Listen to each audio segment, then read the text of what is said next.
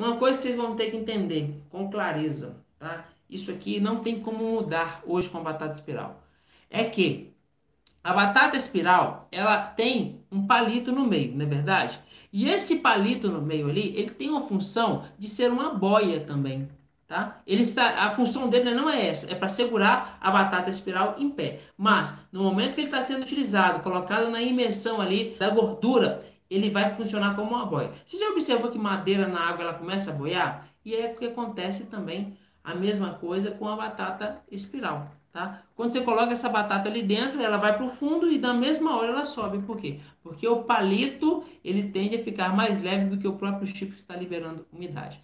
E aí o que, que vai acontecer nesse processo aí? Como tem uma boiazinha, essa batata não vai ficar completamente é, imersa. E quando ela não está imersa, ela não consegue fazer o processo de, de, de liberação de água por completo. Aí o que, que a pessoa faz? Pega a batata, frita um lado, depois ele vira e frita do outro, como se fosse ali é, um hambúrguer, um, talvez um ovo também, ok? E aí o que, que vai acontecer? Não vai dar certo, tá? A parte de cima ela vai endurecer e existe uma diferença muito grande de, grande de, de batata é, frita com batata dura, tá? Uma batata sequinha e crocante de uma batata simplesmente dura, tá?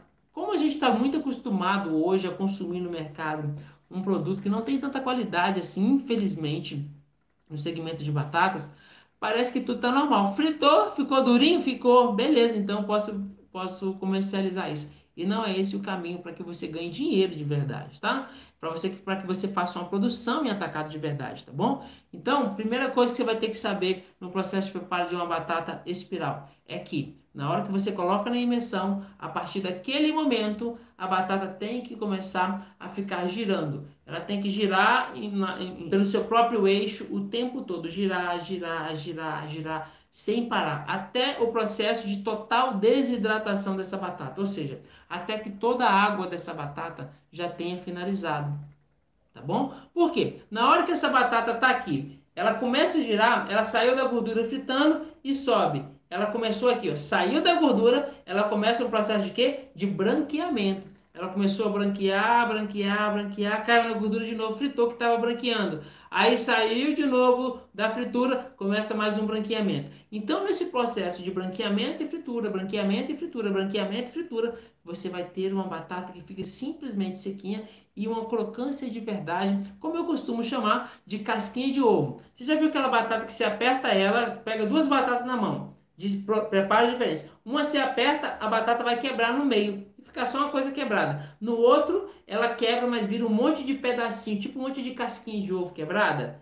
Essa é a batata boa. Por quê? Porque o amido dela está completamente crocante, não está duro. E aí, quando a crocância do amido que está na batata, o que, que acontece com ela? Gente, o sabor é uma coisa de outro planeta. Não tem explicação como fica gostoso a batata espiral. E aí vem a batata que já é muito bonita, já é um prato diferenciado, legal, divertido, que tem entretenimento nesse prato. Agora ele tá, está linkado a uma, um processo de preparo que dá muito sabor, muito paladar a, ao cliente. Aí o cliente, poxa, que prato maneiro e gostoso. Pronto, você cria uma fidelidade do seu cliente para gerar mais receita financeira. Então, como é que eu alcanço isso? Inicialmente, Rafael, movimentando. A sua batata tem que ficar movimentando o tempo todo, ela tem que estar girando o tempo todo na gordura, do começo, meio até o fim, tá?